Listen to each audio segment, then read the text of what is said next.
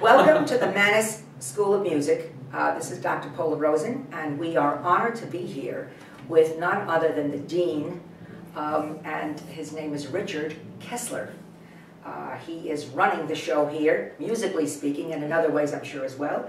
And we also have Lydia Liebman, one of our reporters at Education Update, and we are just delighted to be here. And thank you for taking the time to be with us. So we have only 100 questions. Okay. We'll, we'll start with the first one. Instead of 20.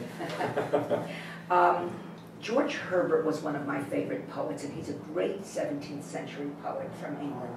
And he used a phrase, the music of the spheres.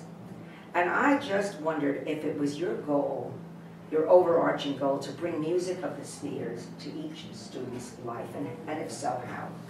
Well, I think it is a goal to bring music of the spheres to every student's life, the students here at Mannes. And subsequent, that, subsequent to that really is an extension to that, the idea that the students at Mannes really receive a rich education in music and outside of music.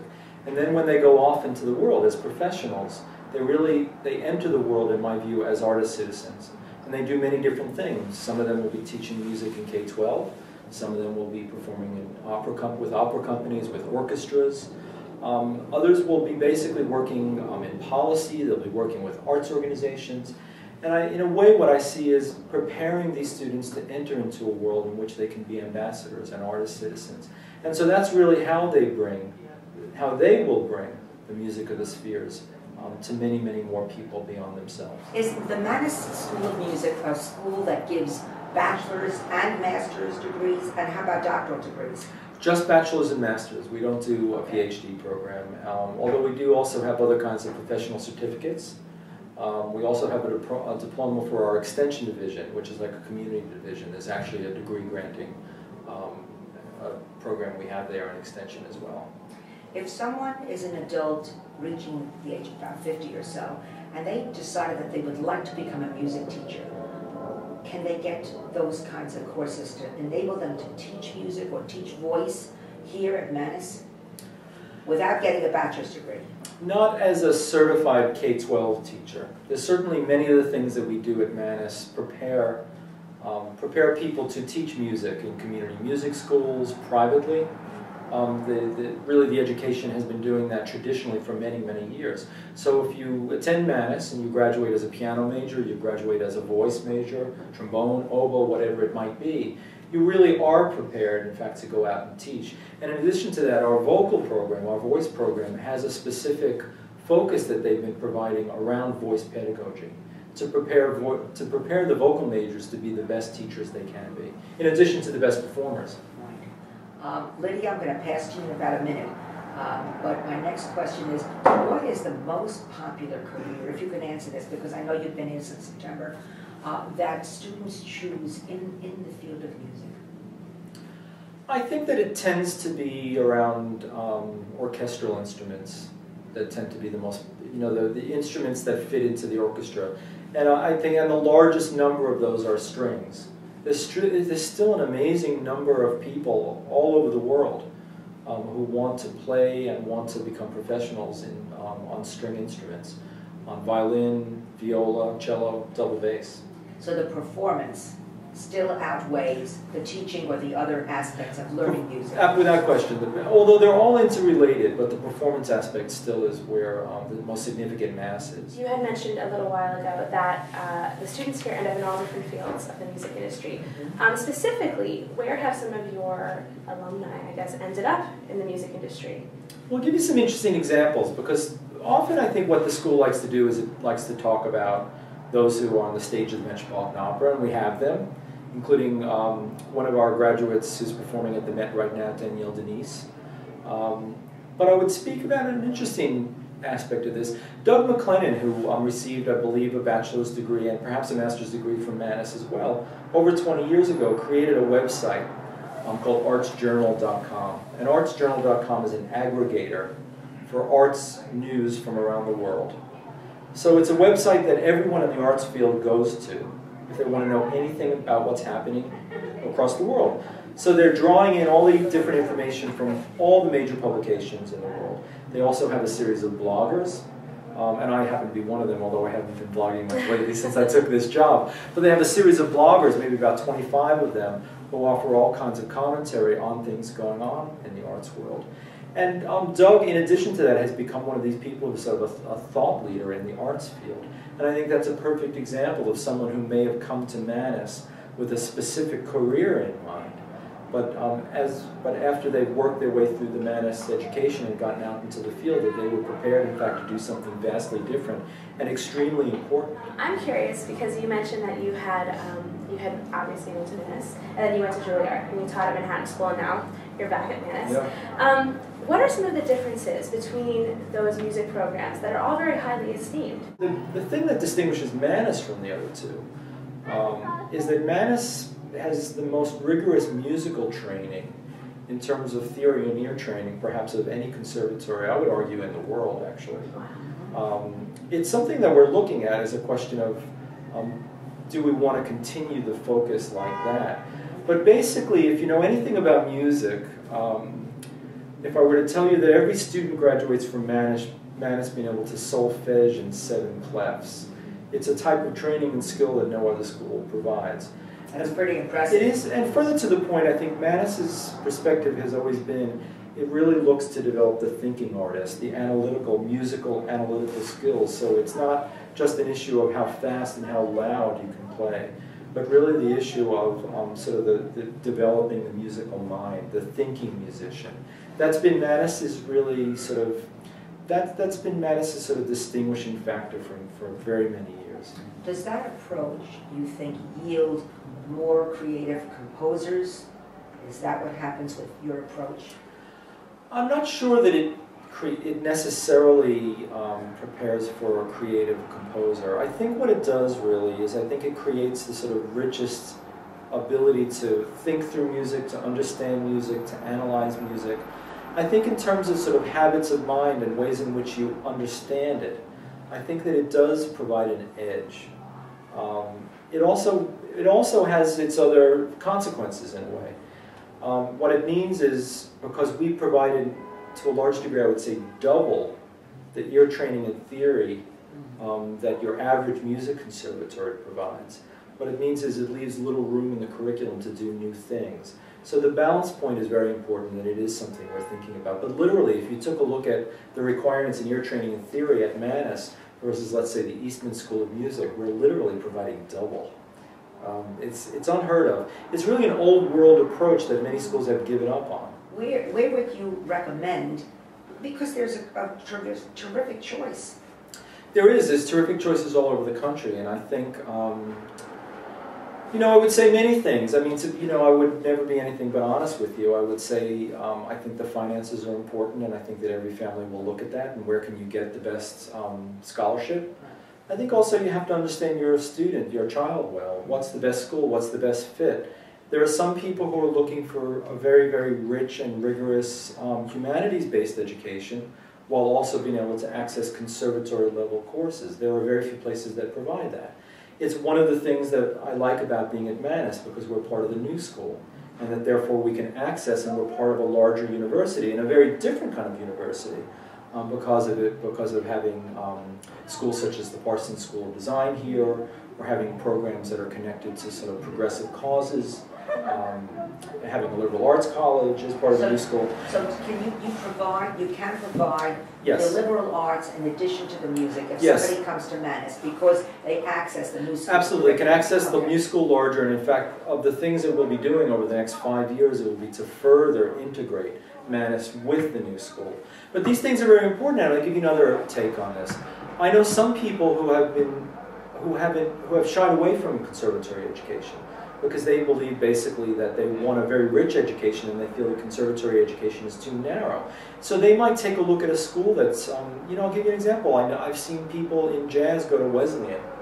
Now, if yes. they can get into Wesleyan, what happens is they receive a first-class liberal arts education, one of the great liberal arts colleges while also receiving a first-class jazz education. So there are a lot of options. There are some students that are very much sort of tunnel vision about what they want to do. There are other students who really, some of them, in fact, um, have multiple interests, and that's a, another thing I like about being in Mannes. We have trumpet majors here who are also studying photography at Is it a requirement that the students at Mannes um, do their studies at the new school as well, Is that liberal arts education, or can they have a strictly conservatory education if they wish to? You know, I don't, I, I, I've had this question come up many times, and I, I have more and more trouble understanding what's strictly a conservatory Right, education exactly. and what's not, to be honest. But what you basically can do is, one, we are part of the new school, so the dormitories are at the new school, so student services is at the new school. So there, more and more of our liberal arts courses actually are being taught through the new school, through Lang College for liberal arts, um, or through the new school for public engagement. And we're also looking at developing new degree programs. For example, we um, are in the very early stages of developing a, a five-year Bachelor of Music, Master of Arts Administration course. That course we would do in very close partnership with the New School for Public Engagement through its Milano School, which provides the Yes. nonprofit management. Um, What a wonderful idea. That's so and good. so, and it's again the beauty of the new school, but what, what I would basically say is, you still have a bulk of the courses here at Mannes, but you have op, op, all sorts of options for electives, as well as some of the core courses at the new school. And I think that we'll be doing much more. Um, and I think I could see when we'll get to the point of where all the liberal arts courses would be essentially taught down at the new school. Now, Mannes is 94 years old. What a terrific thing. You're having a big celebration in six years. We hope to be here. Yeah. I hope so too. I'm sure you will be. So, uh, what are your plans for the future? Well, I think the plans that I have for the future, and something I've been talking about not only with my colleagues at Mannes, but with the leadership of the new school, and it was very central to my coming to Mannes, is I would like to be able to evolve the conservatory education to truly and fully reflect all the things that artists need to know and be able to do today. I still believe that primarily the bulk of what conservatories do in the United States and, and, and abroad is really based on what the field was like 50 years ago. The core curriculum is relatively unchanged at most conservatories.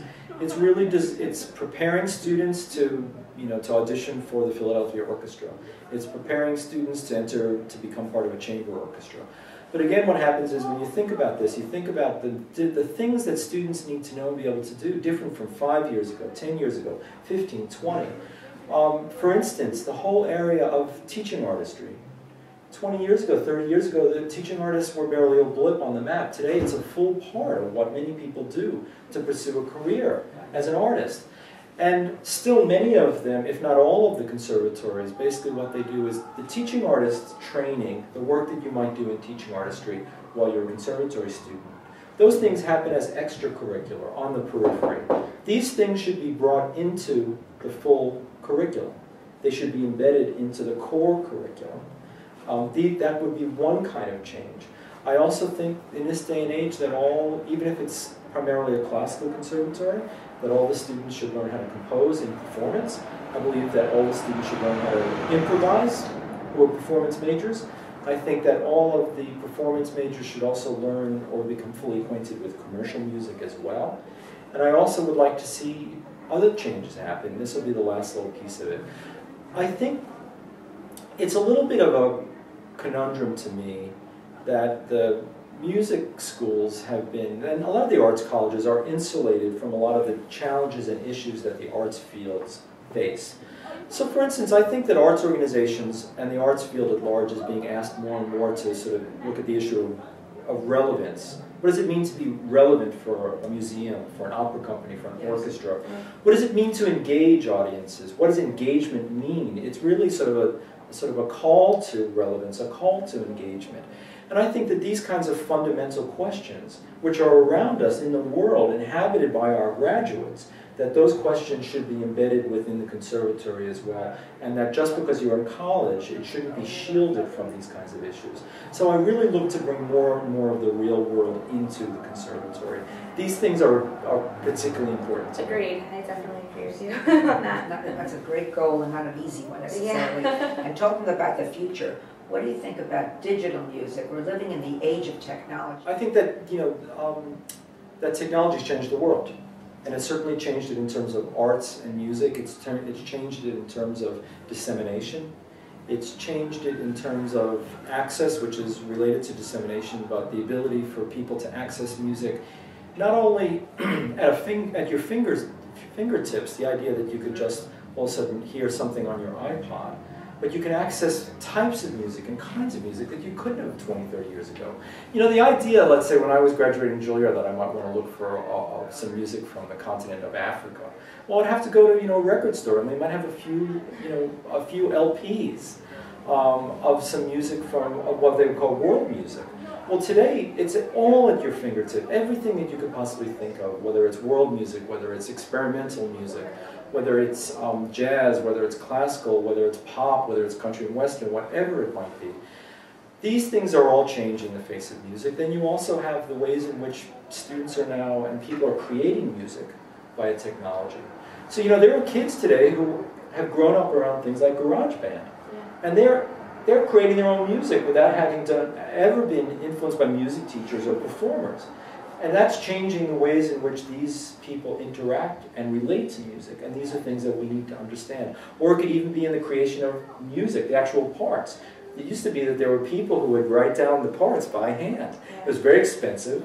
There was a whole business, a whole industry. My mom used to do it. There you have it. music copyists. Yeah. Um, today, composers, performers create scores via technology. So all of these things have just changed the face of music. And I think that the interesting thing, perhaps, of it is that it's, it's going to be the ways in which all the kinds of technology come, are brought to bear on performance, meaning sort of cutting-edge violins, high-tech violins, meaning the ways in which performance you know, aspects merge, whether it be the ways in which visual, visual arts can more easily merge now with things like music or music theater because of technology.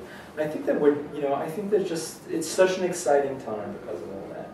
Now, you were the executive director for a number of years at the Center for Arts Education, so you were very much involved with kids in schools at different levels, K to 12, I believe. Yep. Um, it's, uh, music is such an integral part of a person's life. I feel it's a very enriching and wonderful component. I'm sure you'd agree. We have heard that fewer and fewer kids are attending concerts at places like Carnegie Hall and Lincoln Center. There are fewer that are attending or are interested in classical music. How do we bring them back to that? Or maybe we don't want to. What's your take on it? You know, I don't, I worry a little bit less about the issue of how many, what the age grouping is in terms of Carnegie Hall. I, I think, I think there's tremendous interest in music. I think there's more interest in music than there's ever been, and I think that more people are engaged in music than we've, um, than we've ever seen in the history of the world. Also, technology's made that possible. Now, granted, it's all kinds of genres, but there's more, you know, when you look around you, and, and it has negative aspects too, when you look around to all the people listening to their iPods. it's more people listening to music today than ever before. There's more people, I think, creating music and interacting with music than ever before. I think really the issue, there are a couple of issues. One is I, I worry and I'm deeply distressed and have been for a long time that the urban public school systems are shortchanging our students when it um, comes to providing music and the other arts as part of their education. This is particularly important because so many of the students um, being underserved, so many of the students being coming from families below the poverty line, where the parents might be working two jobs and they can't afford to bring the kids to after-school programs or to community music schools and things like that. So that if, so the last opportunity for these students to receive a music or an arts education is in the public school. And the, grand, the great irony to this is the ones who get the most music at home also get it in the school. And the ones who get the least in the homes get the least in the schools. And it should really be, in some ways, I think, the other way around. So I worry about that. I worry about the, the, the issue of providing broad access to music for all students in all schools. And uh, because I think um, the way I see music and the other arts, music to me is like oxygen. Music is the sound of birds singing. To deny um, the ability for, for children to sing to deny the ability for students to draw, to paint, um, to learn how to play, um, to hear um, to hear powerful performances of Beethoven or Bach or Duke Ellington, um, that this is shortchanging um, all of our, our society. I, I have a one last question about the relationship between math and music, which some people make reference to. Any thoughts on that? Well, I'm going to tackle it from a slightly um, circuitous route. I spent a lot of time on this when I was at the Center for Arts Education and in K-12 work that I did years before that too. One of the really interesting things about this is, from the math perspective, when you hear mathematicians, mathematicians speak of math, they speak of math as an art form. They speak of math in terms of narrative. They speak of math in terms of poetry. And um, when you meet a mathematician and you speak to them, there are all sorts of ways in which it relates to all the arts. And you realize actually that math is an art. Now that being said, I think, you're, I think that there are fundamental relationships in the structures of music um, that are where the, the people that I've seen who I think have been the strongest in terms of being able to sight read, being able to sort of um, decode musical notation, have I also, I think, even though they haven't always recognized it themselves, also had very, very strong innate mathematical abilities. And that it's not unusual to see scientists, especially in math-related science, so let's say it's quantum physics, that these scientists, these doctors, are almost always musically oriented. Again, sometimes they don't know it, but there's a reason why there's doctors' orchestras. There's a reason why um, Albert Einstein was so committed to music. Um, this is only scratching the surface, um, but that we have always seen scientists um, relate and connect to music in really extraordinary ways. And, and I think that they do access um, some of the very same parts of the brain. But, but again, I think the most important thing for me is that interesting thing. When I first started to hear mathematicians, mathematicians speak about math in the schools, as opposed sometimes to math teachers, or the ways in which math in the schools is often approached in terms of testing and flat knowledge of math. Right. But when a mathematician speaks of math, they speak of art, they speak of beauty. It's really kind of an incredible thing. Yeah, yeah, it is. Thank you so much. Oh, thank you. Oh, this is such a pleasure. Oh, This was you. a musical and intellectual